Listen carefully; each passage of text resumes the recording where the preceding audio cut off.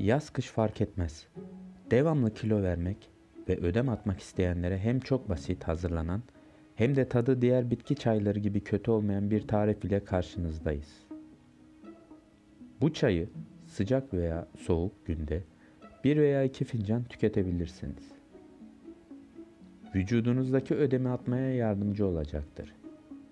Malzemeler Ananas kabukları Çubuk tarçın 1 adet Kiraz sapları 1 tutam yeterli 1 litre su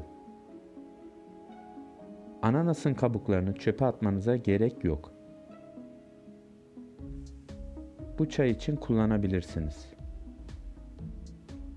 1 adet ananasın kabuklarını güzelce yıkayın ve tencereye koyun. İçine 1,5 tarçın ve 1 tutam kiraz sapını ekleyin. 1 litre suyu da koyduktan sonra orta ateşte kaynamasını bekleyin.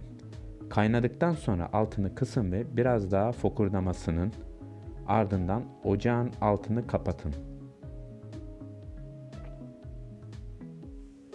İster sıcak şekilde çay gibi, isterseniz soğuk soğuduktan sonra rahatlıkla tüketebilirsiniz. İsteğe göre kaynatırken içine yarım limon, bir miktar zencefil de ekleyebilirsiniz. Hepinize sağlıklı günler dileriz. YouTube kanalıma destek için abone olmayı unutmayın.